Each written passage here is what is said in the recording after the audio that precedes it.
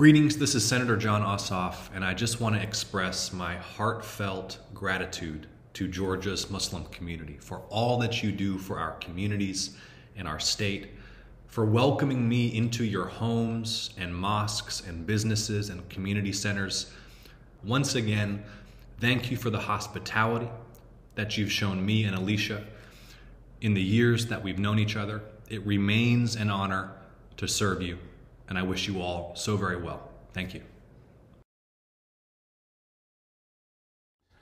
Hello and greetings to the Islamic Speakers Bureau of Atlanta's 20th Anniversary Gala.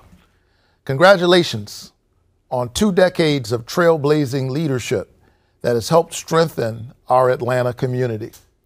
We're proud and fortunate to have more than 125,000 Muslims call Georgia home with more than 100,000 living within the metro Atlanta area.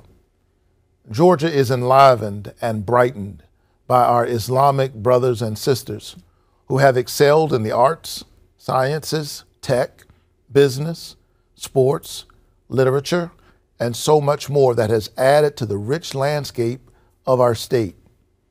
I'm always impressed by ISB's commitment to reaching out and connecting to different faith communities in Georgia, making our state stronger and more vibrant. What makes America so special is everyday citizens banding together to make our community stronger, which is why ISB's coalition building, education opportunities, leadership development, and community involvement have contributed so much to the health of our state. I would like to thank ISB Atlanta's founder and executive director, Soumaya Khalifa, for all you do to create a world based on the universal human principles of mutual respect, acceptance, and peaceful coexistence through dialogue and understanding. You're helping us build what Dr. King called the beloved community. So thank you for everything you do. God bless you and your community.